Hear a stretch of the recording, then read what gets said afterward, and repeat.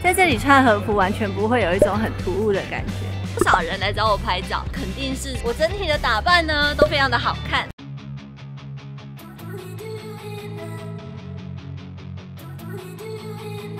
Hello，大家好，我是妮亚。今天呢，我们来到浅草，要来体验当地最有名的和服体验啦。之前虽然有来过日本，不过因为当时还是学生，实在是没有多余的钱可以来体验看看和服这个东西。因为其实和服呢，最便宜最便宜也是要大概六千到七千的日元。那在当时的汇率一比三的话呢，大概也是要两千块台币的。那现在刚刚好日币贬值了，而且也出社会了，所以这次来。的话呢，就想来体验看看日本的和服到底有多厉害。那我们这次选择的呢，是在雷门寺旁边的 Vasara，它是在 Google 评论上最多也最高分的一家店，有两千四百个评论，但是。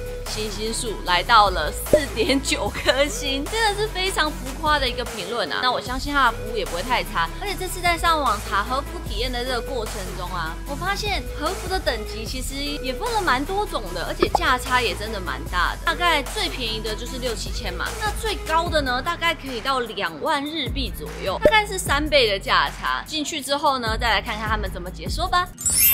可以看到我现在的样子，我们已经换完和服了。其实呢，这个和服体验啊，我个人觉得还蛮多。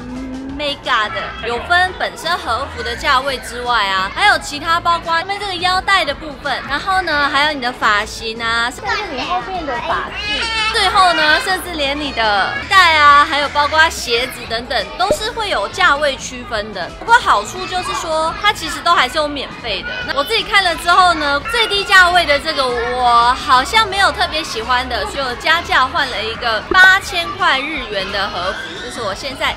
身上的这一套，另外呢，发型的部分我也是加价加了蛮多。想说既然都来体验和服了，我们就来一点特别的，加了最贵的发型。目前大家可以看到我头上这一颗要价两千两百日元。大家可以看到花的部分呢，也多了蛮多朵的，是五朵。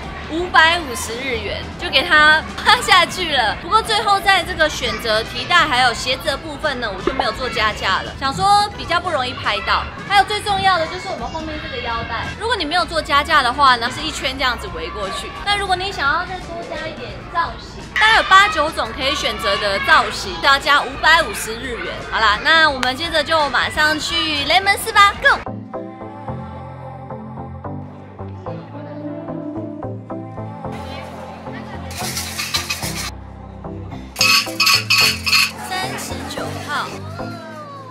熊，怎么是熊？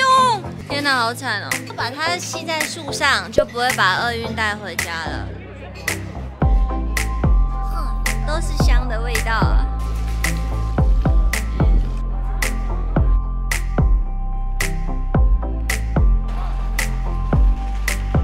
门寺外也有超多摊贩，这边真的是一个很适合逛街的地方。而且我刚刚来的时候，发现这里感觉还是个抹茶圣地。到了这个雷门寺附近啊，超级多店家都有卖抹茶的，街上也有超多人穿和服的。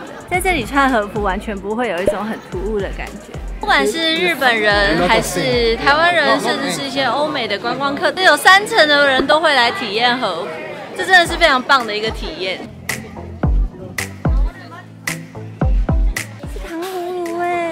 来这里一定要吃的吧？是看日本版的糖葫芦，嗯，好吃，草莓不会很酸。哎，哎，好可爱哦！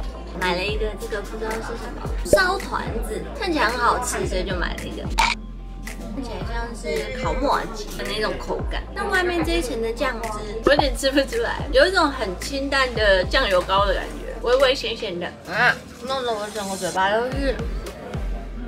还蛮好吃的。看到了一个很酷的东西，叫做化妆卡，然后里面有三百六十五天，挑我们的生日吧，三月。二五这里，然后还有一些其他的，像这个好像是护手霜。啊，好漂亮哦！这个鼓也太贵了吧，两千块的鼓。以前小时候最喜欢买这种吊饰了，但是现在好像没什么地方可以逛。日本的传统玩具，还有我们知道的剑玉，好美哦！买了买了，在这里就是当臭观光客。